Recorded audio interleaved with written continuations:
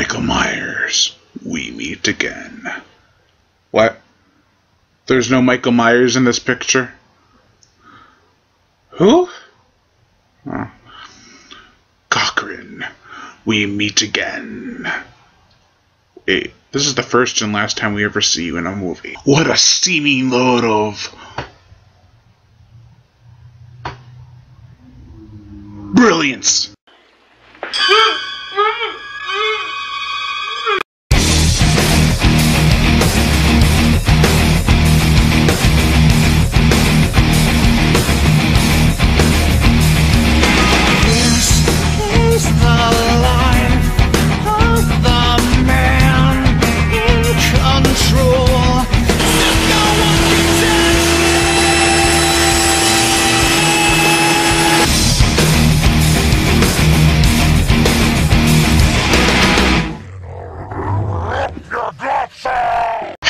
Halloween 3, Season of the Witch, the night no one comes home.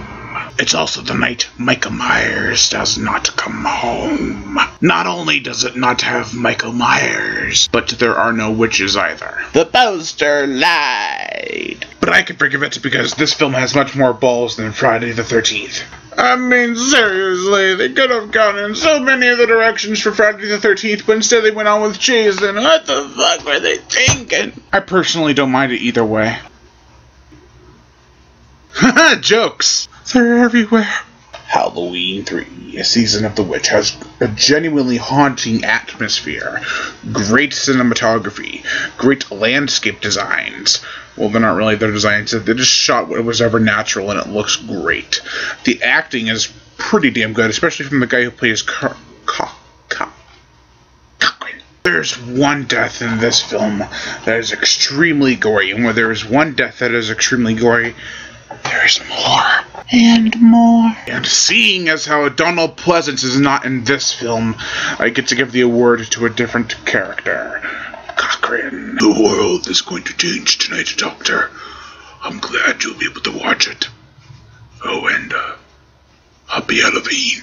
I love Halloween 3 Season of the Witch just as much as Halloween 2.